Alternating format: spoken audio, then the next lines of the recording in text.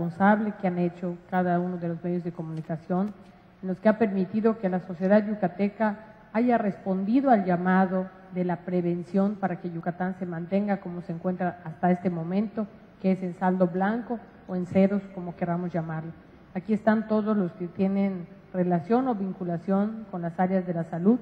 y quiero dar instrucciones al secretario de Salud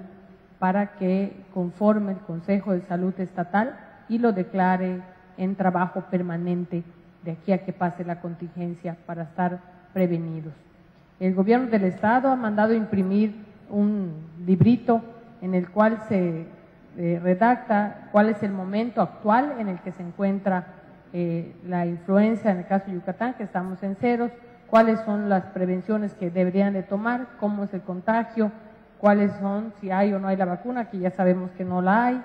y todos los puntos que debieran de saber la sociedad, particularmente el de lavarse las manos, el de no saludarnos de beso y de mano, como hemos estado practicando ahorita en estos últimos eventos.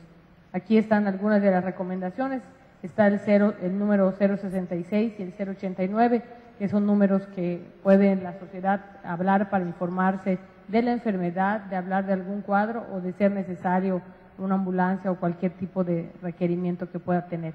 Esto los vamos a distribuir a partir de mañana mediante encarte en los medios de comunicación escritos y a través de todas las instituciones de gobierno que tienen contacto con, eh, la ciudadanía.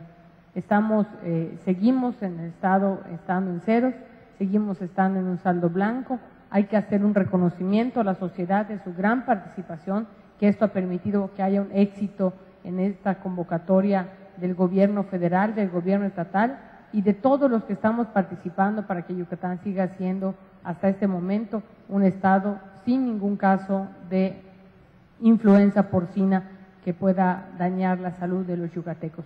Si hubiera alguna situación en la que se presentara algún caso, estamos prevenidos, estamos con los medicamentos necesarios, contamos con, los, contamos con la infraestructura necesaria, contamos con los recursos humanos y sobre todo con la disposición de todo el personal que también en el caso de Lorán se quedarán abiertas las consultas externas y fin de semana para cualquier contingencia. Si alguien tuviera una pregunta, está en el momento para hacerla. Muchas gracias, señora gobernadora.